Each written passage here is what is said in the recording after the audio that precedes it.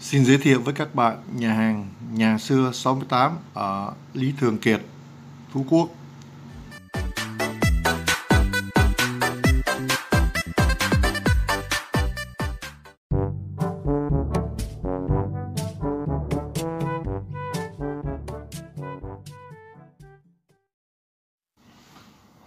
Để tiếp tục cái clip chợ đêm Phú Quốc thì theo sự giới thiệu của anh Hòa anh chở mình đến ờ, nhà hàng nhà xưa 68 vì nghe nói nhà hàng này ăn rất là ngon mà đề co ở đây tất cả đồ là đồ cổ hết.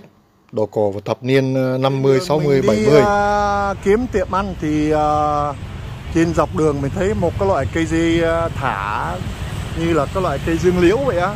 Nhưng mà ở đây nó có một cái loại bông. Lá thì không phải lá dương liễu đâu nha. Đấy vì là cái lá nó gì đó đó đó.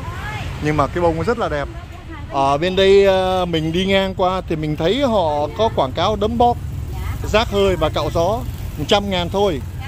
Đây là cái hình ảnh nó thật tình nó là mấy chục năm về trước mình còn gặp chứ bây giờ thì mình trở lại mình thấy nó rất là hiếm. Mình uh, nhân dịp này mình quay cho các bạn xem. Đây cái lưng của cái anh này đây đó trời ơi cái lưng có chút xíu mà để tới mấy chục lọ lận. Mấy chục wow trời luôn à cái này rác hơi mà. Ồ oh, rất là lạ nha.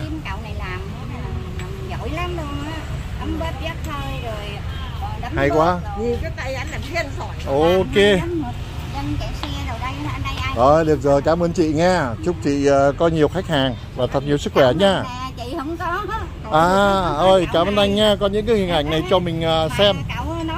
cảm ơn chị nha. à, cảm ơn anh nha à, bây giờ mình ra đến xe rồi. Thì à, anh Hòa sẽ chở gia đình mình đi ăn.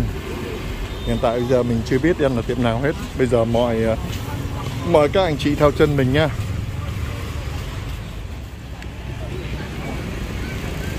Sau mùa chạy xe à, 5-10 phút gì đó thì à, anh Hòa đưa cho gia đình mình đến cái cửa tiệm nhà xưa 68 đây là cái số nhà ở 68 Lý Thường Kiệt. À, Đây là bán những cái món ngon đặc sắc của à, Phú Quốc. Ở đây họ ăn cơm gia đình rất là nhiều nghe. Bây giờ mình à, đi vào trong à, nhà trong. Đây nhà xưa 68 vô đây hùn 68 ngàn đóng tiền điện nghe. À là vô đây là mình đóng tiền điện đó.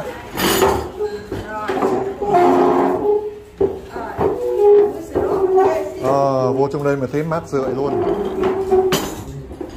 À, ở đây mình thấy họ để cái mâm cơm ở trên cái tấm phả này rất là lạ nha cộng thêm với à, những anh à, sẹp sẹt vơ mặc áo nâu biểu hiệu ờ, biểu hiện lại những uh, cái nhà hàng xưa. Đó. Đây là mình uh, uống đá uống đá uống đá uống đá. Đây nước sâm. Ăn ở cái ờ, nhà hàng này mình rất là rất là thích thú. Và đây họ trên những cái nẹp là trên những tờ giấy đó họ ghi cái câu nói cũng rất là hay ai cũng thích ăn cơm, nhưng lại thèm ăn phở. Một lý do muôn thuở, phở nhiều nước hơn cơm. Đây là cái câu nói rất là bất hủ đây. Đừng bao giờ mình lại ngày mai. Bạn có thể làm được ngày hôm nay. Và cái căn nhà dễ cháy xin đừng hút thuốc. Mà nếu lỡ cháy rồi đốt luôn nha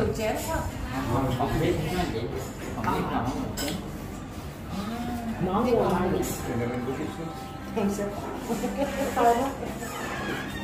nó giống như sâm lửa ngon đặc sản canh chua cá. Đây đặc sản mắm chưng này. Mắm chưng này wow đặc sản mắm chưng của nhà hàng gì đây? Nhà hàng xưa. Đặc biệt thêm một cái món kế bên là cái món gì rồi? Tên cơm cơm cơm.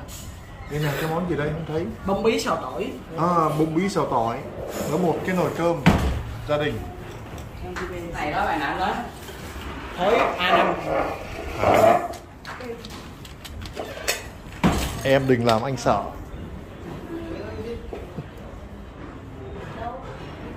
Lâm còn đến cái lon Bigo ngày xưa lại Lâm.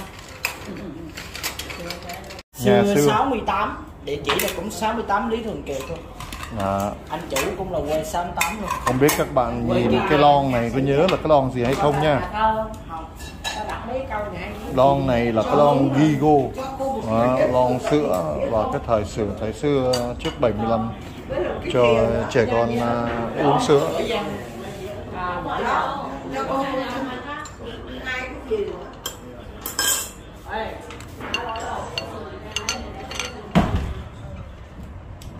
Ôi mà mọi người ăn nha không biết còn món gì thêm không? Còn à, còn hả? Thôi cứ tự nhiên ăn đi rồi từ từ mà mang lên. này trễ quá trời rồi bây giờ 9 giờ hơn rồi đó. Ăn hơi trễ quá đó. Anh Lâm được à, chú Hòa chăm sóc kỹ quá nha. Đấy, cảm ơn chú Hòa nghe. Có chú Hòa đi chơi chung à, chở gia đình à, anh Lâm đi là anh Lâm rất là vui rồi. À, một lần nữa cảm ơn à, chú Hòa nhà ta nha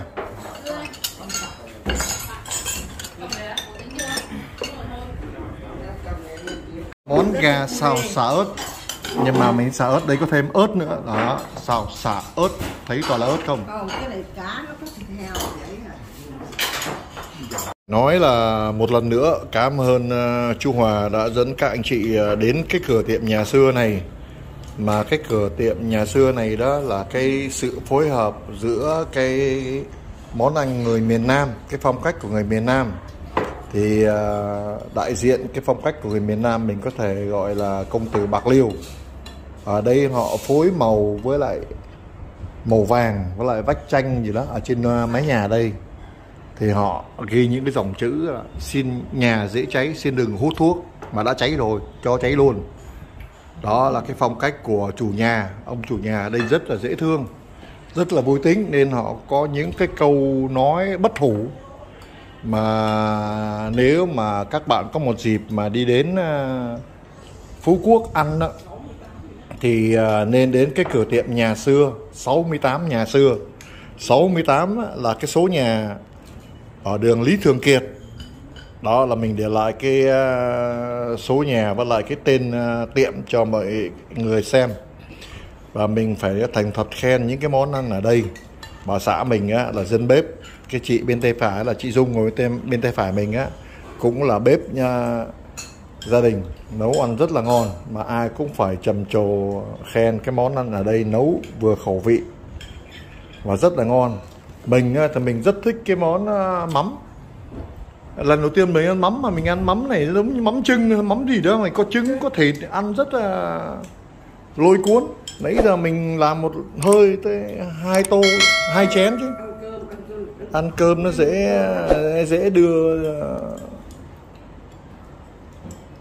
thêm cái món canh chua cá nữa. Trời ơi bá cháy luôn. Cái cơm món canh chua này nó có cái ờ, rau muống ở trong đó.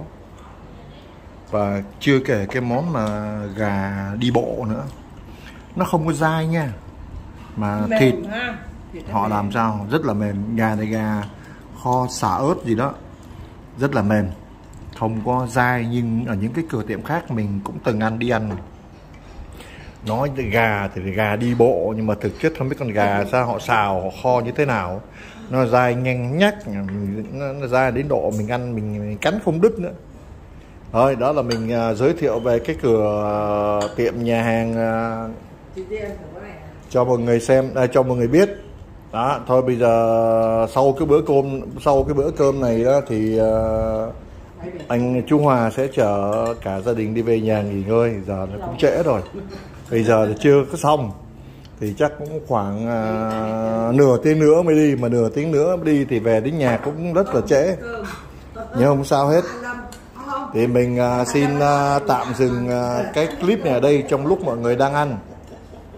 Thì uh, mình cũng uh, mến chúc các bạn uh, một buổi tối có một bữa cơm ăn ngon miệng còn bên kia là mặn mà thật nhiều sức khỏe và nhiều niềm vui trong cuộc sống, nhất là trong cái bữa ăn của gia đình. Lúc nào cũng cái sự vui vẻ. Đó là cái điều hạnh phúc nhất, giản dị nhất mà mọi người ai cũng ao ước. Như vậy mình xin chấm dứt cái clip này ở đây nha.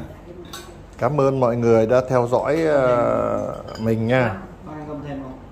Chào mọi người chào chào nhà xưa này á mình tìm thấy ờ, cái gì cũng là cổ cái gì cũng là xưa nha. Cái đó là mình ờ, trước mắt mình mình quay cho mọi người xem đây. Kể từ cái gánh này nữa cả cái tủ buffet này nữa. À, đây là những cái đồ xưa xưa xưa xưa nha. Từ cái máy uh, hát uh, đĩa cho đến cái tele cho những cái tủ đựng uh, tách chén rồi cả cái telephone với cái quạt.